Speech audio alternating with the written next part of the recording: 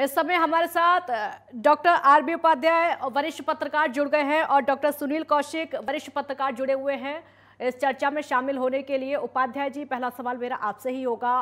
रामपुर और आजमगढ़, ये दोनों ऐसी सीटें हैं जहाँ पर कांटे की टक्कर थी बीजेपी और समाजवादी पार्टी के प्रत्याशियों में। लेकिन जैसे ही ये सीट बीजेपी के खाते में जाती है, एकदम आंकड़ा पलट जाता है। देखिए डेफिनेटली काजल ये दोनों सीटें हाँ। समाजवादी पार्टी का गढ़ थी। और जो जातीय समीकरण है जातीय समीकरण भी कहीं ना कहीं समाजवादी पार्टी के पक्ष में थे। जो उनका एम बाई फैक्टर है वो एम बाई फैक्टर भी कमज़ोर होता हुआ नज़र आ रहा है। और उसी के बल पर समाजवादी पार्टी को ये उम्मीद थी कि दोनों सीटें समाजवादी पार्टी जीतेगी। ओवर कॉन्फिडेंस का आलम ये था काजल कि अखिलेश यादव प्रचार में गए ही नहीं। और मैं बार बार कई चैनलों पर मैंने कहा कि बीजेपी हर चुनाव को शिद्दत के साथ लड़ती है। छोटे से छोटा चुनाव बड़े से बड़ा चुनाव उसका बेनिफिट उसको मिलता है। हम्म, जहाँ योगी आदित्यनाथ आदित्यनाथ सभा पर सभा कर रहे थे जनसभा कर रहे थे वहाँ अखिलेश जी नज़र नहीं आ रहे थे। तो मैंने तभी कहा था कई चरणों पर मैंने कहा कि इसका नुकसान समाजवादी पार्टी को उठाना पड़ेगा। और दुष्परिणाम देखिए कि दोनों गढ़ ढहते हुए नज़र आ रहे क्योंकि जो एम बाई फैक्टर था देखिए आजमगढ़ में बड़ा क्लियर था। हम्म, गुड्डू जमाली को जब से उतारा बीएसपी ने तो दिख रहा था भाई गुड्डू जमाली मुस्लिम समाज के काफ़ी वोट ले जाएँगे। जिसका सीधा सीधा नुकसान समाजवादी पार्टी को होगा पिछली बार जब इलेक्शन लड़ा गया था तो समाजवादी पार्टी और बीएसपी एक साथ थे। बीएसपी उपचुनाव नहीं लड़ती है, लेकिन बीएसपी ने कैंडिडेट उतारा। तो उसी दिन दिख गया था कि आजमगढ़ की सीट अब समाजवादी पार्टी के लिए सुरक्षित नहीं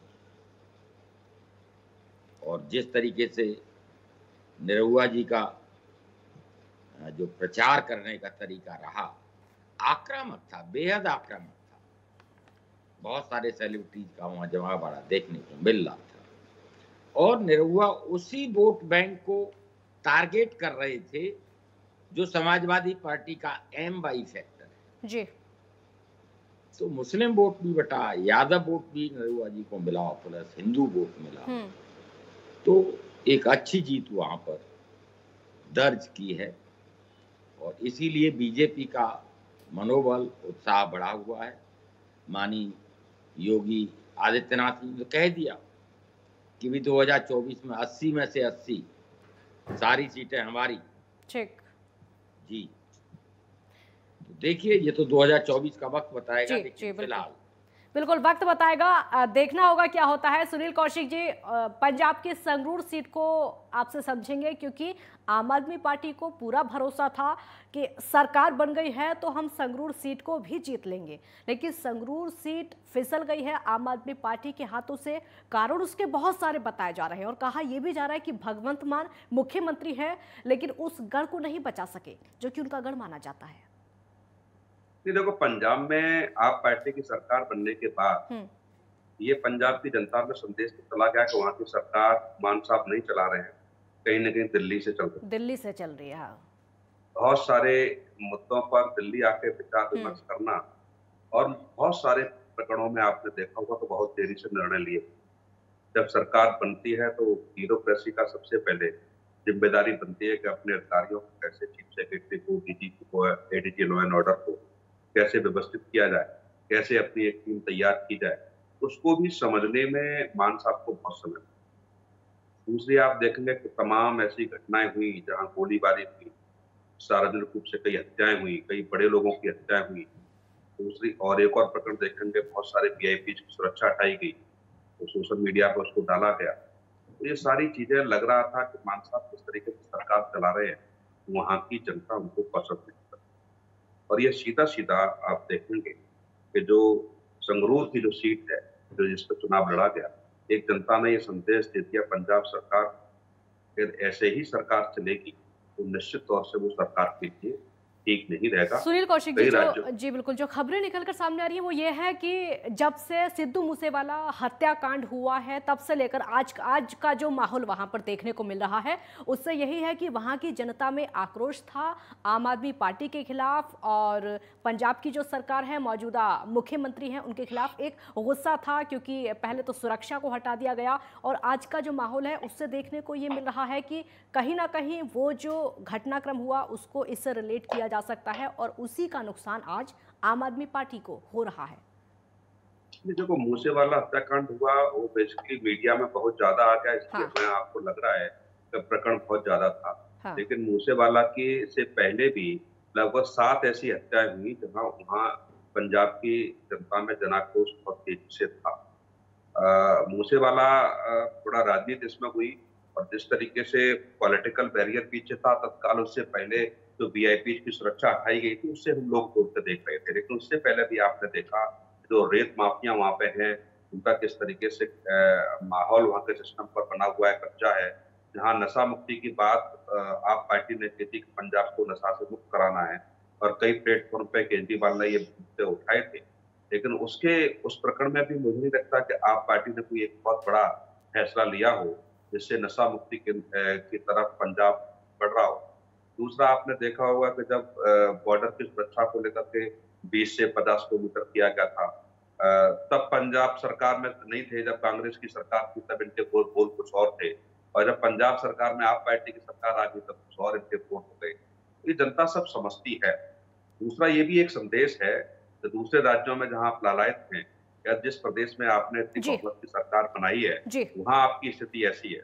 दूसरा एक और मैं छोटा सा काजल हाँ। कि जहाँ दिल्ली जहाँ दिल्ली में बार बार केजरी सरकार पुलिस को मांग रहे थे पुलिस हमारे हवाले की जाए बिल्कुल सुधार देंगे हाँ। पंजाब में ये देख लिया वहाँ की जनता ने कि पुलिस भी आपको दे दी गई तब भी आप उस स्टेट को ठीक से नहीं संभाल ठीक है उपाध्याय जी आपसे मेरे दो सवाल होंगे यूपी को लेकर भी और दिल्ली को लेकर भी क्योंकि यूपी में तो देखा है जा रहा है कि बीजेपी की बल्ले बल्ले हो गई है और दोनों ही सीटों पर कब्जा है लेकिन वहीं हम दिल्ली की स्थिति देखें तो यहाँ पर राजेंद्र नगर में कब्जा नहीं कर पाई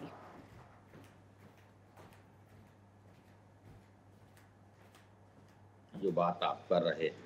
हम्म। वो सीट पहले से आम आदमी पार्टी के पास थी।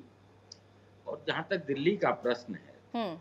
देखिए दिल्ली में जो छवि है आम जनता के बीच में वो बीजेपी की ठीक नहीं है। जी। उसी का परिणाम है आप देखेंगे कि नगर निगम के चुनाव को टाला गया। क्यों? नगर निगम में जो भ्रष्टाचार था उससे आम जनता बहुत आहत थी। हर लेंडर पर पैसे लिए जाते थे। तो जहाँ भी जितने भी भ्रष्टाचार की जो पराकाष्ठा होती है, वो जनता उससे रूबरू हो रही थी। तो एक अच्छा कदम उठाया कि भी ठीक है, भंग कर दिए गए निगम, और वहाँ पर तीनों निगमों को एक करके एक व्यवस्था दी गई है, जिससे कम से कम जो पार्षद लूट मार मचा रहे थे, जो भ्रष्टाचार को बढ़ावा दे रहे थे, उस पर अंकुश लगेगा, और उसके बाद बीजेपी की छवि में भी सुधार आएगा अभी बहुत लंबा समय नहीं हुआ है और आम आदमी पार्टी का जो प्रदर्शन रहा है हम्म। तो आम आदमी से जो आम जनता है देखिए एक दिल्ली मॉडल पेश किया आम आदमी कि फ्री बिजली फ्री पानी फ्री डीटीसी में ट्रेवल कर रही हैं महिलाएँ प्रैक्टिकली हो रहा है और वो मैसेज पूरे देश में जा रहा बिल्कुल। जिसके दम पर पंजाब जीता गया। बिल्कुल। लेकिन काश बीजेपी के पास उस तरह का कोई किसी भी स्टेट का मॉडल नहीं है हम्म। जिससे ये कहा जा सके कि भी उस स्टेट में हम इस तरह की कल्याणकारी योजनाएँ चला रहे हैं। हम्म। तो अगर हम सत्ता में आते हैं तो हम इस तरह से एक गवर्नेंस का मॉडल प्रस्तुत करें। और दिल्ली की जनता जहाँ कांग्रेस का शासन था, शीला दीक्षित जी कहती थी, बिजली यूज़ करेंगे तो बिल तो भरना पड़ेगा। अब मेरी आमदनी पाँच हज़ार और छः हज़ार का बिजली का बिल आएगा तो मैं कहाँ से भरूँगा? तो जनता उन सब चीज़ों से आहत थी और एक विकल्प आम आदमी पार्टी का उनको मिला जिसको चुनाव और उसी को समझते हुए आम आदमी पार्टी ने शिक्षा के क्षेत्र में, स्वास्थ्य के क्षेत्र में अच्छे कदम उठाए हैं जो आम जनता महसूस करती है और दूसरे स्टेट के जो लोग रहते हैं वो अपने स्टेट में जाकर बताते हैं कि भी दिल्ली में सरकारी स्कूल सुधर गए हैं दवा मिल जाती है हम्म, मोहल्ला क्लिनिक का बंदोबस्त है कहीं दूर नहीं जाना पड़ता है जबकि किसी भी स्टेट में गाँव लेवल तक भी एक डॉक्टर की या छोटी सी डिस्पेंसरी की व्यवस्था किसी भी प्रदेश ने नहीं की है। ये बात अलग है कि भी जहाँ संगरूर में आप देखेंगे कि जो पंजाब में मान साहब की जो सीट थी जो उन्होंने छोड़ी थी जी। उस सीट पे हार गए। उस सीट पर हार गए। देखिए पंजाब में एक मैसेज गया हाँ। जनता के बीच में। भ्रष्टाचार ज़ीरो टॉलरेंस की बात थी लेकिन उन्हीं के मंत्री भ्रष्टाचार में लिप्त पाए जाते हैं उन्हें जेल हम्म। भेजा जाता है। जी। तो वो ध्वस्त हो गया वायदा कि भी हम भ्रष्टाचार भ्रष्टाचार जब मंत्री कर रहा है। जी। और दूसरा जो सुरक्षा हटाई गई हाँ। सुरक्षा हटाने के बाद जिस तरीके से हत्या हुई तो वो हत्या ने भी कहीं ना कहीं सिद्धू मूसेवाले की हत्या से एक मैसेज जनता के बीच में गया कि भी ये जो सुरक्षा हटाई गई है इसके दुष्परिणाम सिद्धू मूसेवाले की हत्या के रूप में देखने को बिल्कुल। मिले हैं। बिल्कुल सिद्धू बिल्कुल।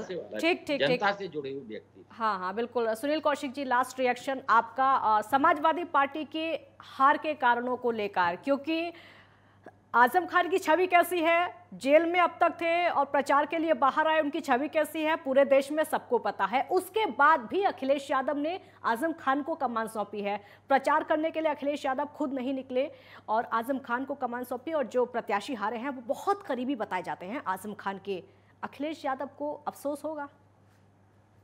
काजल अखिलेश यादव को अफसोस नहीं होगा। अखिलेश यादव जी ने जानबूझ के ये सीटें हराई। समाजवादी पार्टी की एक रणनीति थी जिस तरीके से जेल में रह करके अखिलेश यादव को चैलेंज किया गया। हम्म। अखिलेश यादव ने जिन प्रतिनिधि को भेजा उनसे मिलने से आरम खान ने मना कर दिया। हाँ। उसके बाद शिवपाल यादव और कांग्रेस के वरिष्ठ नेताओं से मुलाकात होती है। हम्म।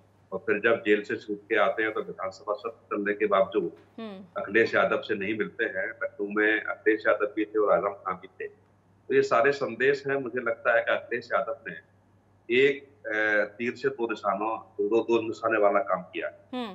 कि जिस तरीके से दबाव अखिलेश यादव पे बनाया जा रहा था इस टिकट को लेकर। और जब आज़म खान के नज़दीक कार्यकर्ता ये कहते हैं कि हमारे पसीने में बदबू अखिलेश यादव को आती है और उसके बावजूद भी उस बात का कोई खंडन आज़म खान नहीं करते हैं। तो ये तो था ही कि वो उस चुनाव सिर्फ़ आज़म खान को लड़ना था। ये समाजवादी पार्टी ने रामपुर का चुनाव नहीं लड़ा ये केवल और केवल आज़म खान ने लड़ा। जानबूझकर अखिलेश यादव ने जानबूझकर अपने पैरों पर कुल्हाड़ी मारी है।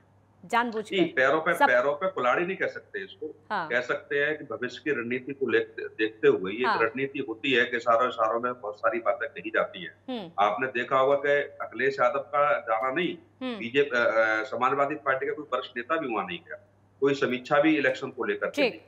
और एक छोटी सी और मैं बात कहूँगा काजल जल्दी ठीक रामपुर को हराने के चक्कर में अखिलेश यादव ने आजमगढ़ भी हरा दिया। बहुत शुक्रिया। बिल्कुल बिल्कुल। बिल्कुल। और अखिलेश यादव को ये पता था कि ये हो सकता है। बहुत शुक्रिया आप दोनों का हमारे साथ जुड़ने के लिए। बहुत बहुत शुक्रिया। तो आज के जो नतीजे आए हैं रामपुर और आजमगढ़ में बीजेपी का कब्जा और वहीं संगरूर सीट की बात करें तो वहाँ पर शिरोमणि अकाली दल की जीत हुई है। बहुत बहुत शुक्रिया आपका। फ़िलहाल इतना ही। आप देखते रहिए नेटवर्क टेन। जय हिंद।